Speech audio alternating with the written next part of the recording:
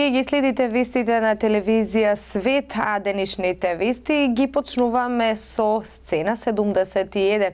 Зашто станува збор, останете со нас, ке видите по рекламите.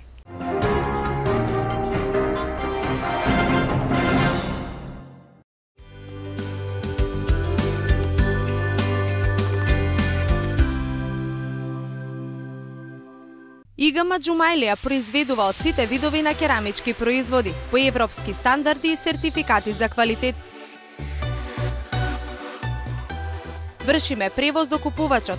Купувајте македонски производи, искористете го летниот попуст, изберете квалитет по пониски цени. Игама Джумајлија. Добре дојдовте во светот на информатичката технологија. Netcom, единствен сертифициран сервис за компјутери и периферни единици.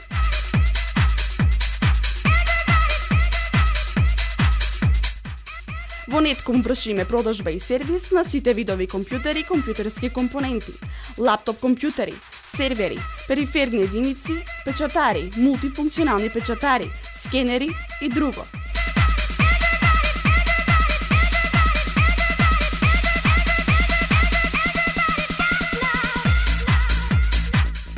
Нетком компјутери на улица Кочорацин 35.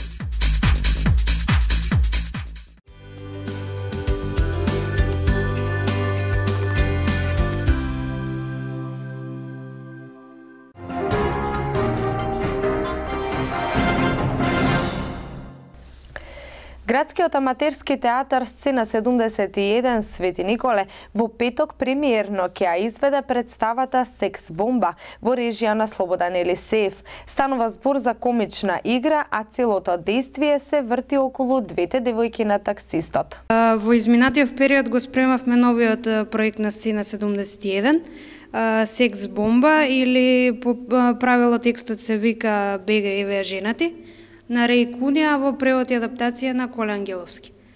Јас го играм ликот на Биби, една од жените на Јован, тоест нашиот Стефан Коцев, и понатаму дојдете, видете и насмејте се.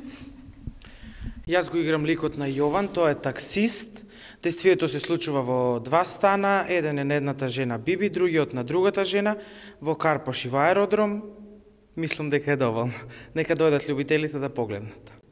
Значи, јас сум другата жена на Јован или на Стефан Коцев, тоа е Марија, Маре Пашовска, а, која што не знае дека незиниот сопруг се гледа со друга жена и тоа понатаму ќе видите. Значи, во петок, во 20 часот, дојдете и насмете се. Младите актери неуморно ја подготвуваа оваа представа, а нивната цел е да покажат дека и Свети Николе има квалитетни актери кои знаат да понудат одлични представи на Свети Николската публика.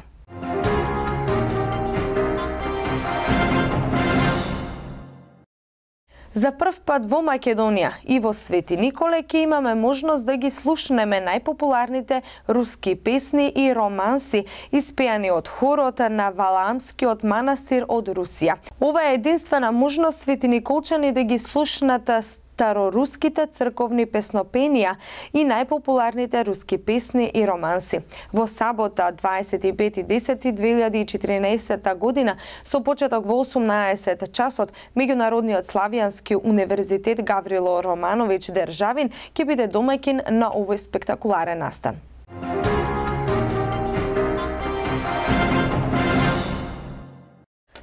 Рестораните и кафетериите покрај патиштата на бензинските пумпи, аеродромите, автобуските станици и граничните премини ќе работат 24 часа, а не ограничено како досега. Ова е предвидено во измените на Законот за угостителска дејност кој денес го поминаа првото читање пред Собраниската комисија за економски прашања.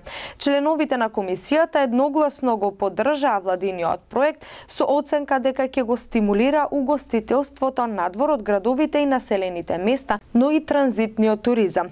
Ова е мала, но многу важна измена со која значително ќе им помогне на угостителите, посебно во летните периоди кога низ Македонија транзитираат многу туристи.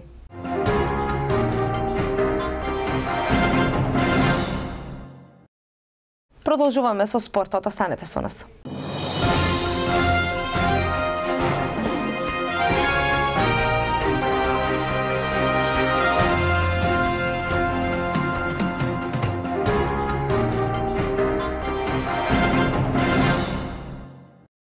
Еве што имаме од спортот денес.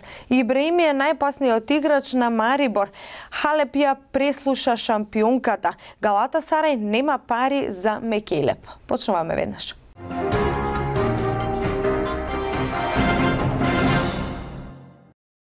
Португалскиот стратег Жозе Муриньо по убедливиот триумф над Марибор се чини повеќе куртоазно и ја пофали играта на словенците, нагласувајќи дека неговата екипа максимално сериозно му пристапила на дуелот. Ибраими е најопасниот играч, но пред се Марибор го краси тимската игра и неколкута млади фудбалери, како што е Заховик, кој е одличен потенцијал.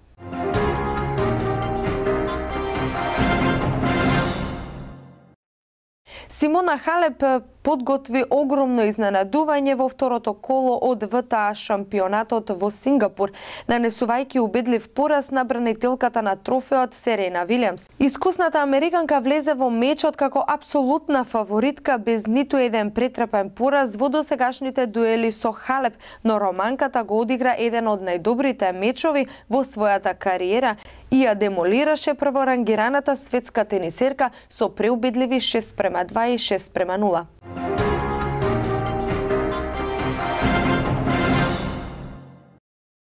Лестер Боме Келеп нема да ја продолжи својата кариера во дресот на Галата Сарај, наспроти информациите од вчерашниот ден кои говореа дека преговорите меѓу македонскиот репрезентативец и турскиот спортски гигант се наоѓаат во завршна фаза.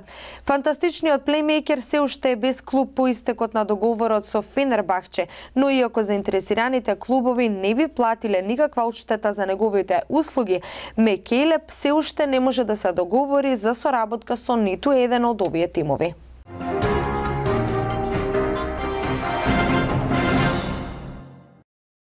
Завршуваме со спортот за крај временската прогноза.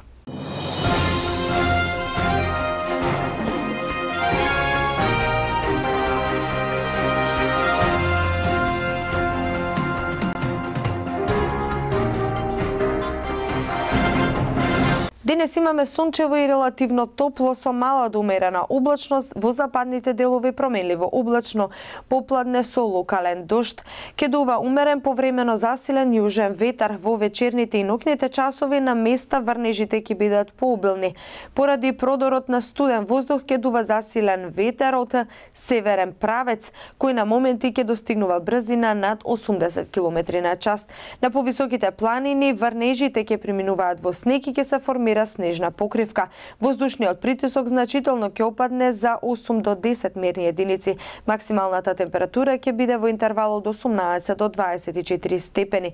До сабота ќе се задржи променливо облачно, студено и ветровито време со повремени врнежи од дожд особено утре предпладне и во петок. На планините врнежите ќе бидат претежно од снег. Утре и во сабота ќе дува засилен северен ветер. Од недела утренските температури на повеќе места ќе бидат под нулата.